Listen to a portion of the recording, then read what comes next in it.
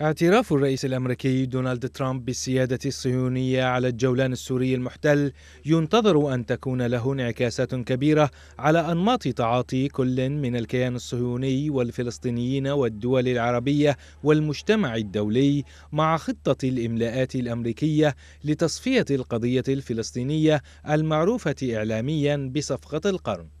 فبالنسبة للكثير من الأوساط الصهيونية دلل القرار الأمريكي بشأن الجولان على أن التماهي مع مواقف اليمين الصهيوني يعد الإطار المرجعي الذي يوجه سياسات ترامب إزاء المنطقة.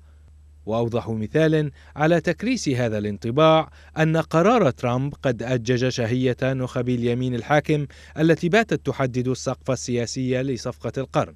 فهذه النخب ترى اليوم أن القرار الذي يتوجب على ترامب اتخاذه بعد الاعتراف بالسيادة الصهيونية على الجولان المحتل والقدس المحتلة يتمثل بالاعتراف بالسيادة الصهيونية على كل الضفة الغربية المحتلة.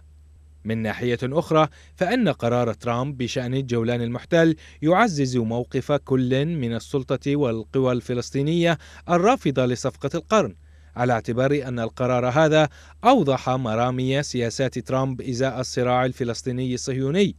من هنا فإن الرهان الأمريكي على إمكانية حدوث تراجع في الموقف الفلسطيني بشأن التعاطي مع صفقة القرن بعد الانتخابات الصهيونية في غير مكانه.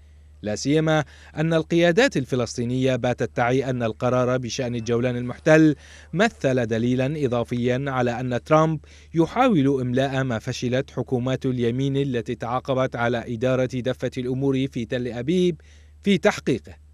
وعلى صعيد المواقف الإقليمية فإن قدرة ترامب على تجنيد نظم حكم عربية لمساعدته على إملاء صفقة القرن على الفلسطينيين ستكون متدنية جدا بعد قرار الاعتراف بالسيادة الصهيونية على الجولان. ومن الواضح أن نظم الحكم العربية ستجد صعوبة كبيرة في تبرير التعاون مع ترامب وفريقه في تمرير الصفقة بعد القرار بشأن الجولان أمام الرأي العام لديها.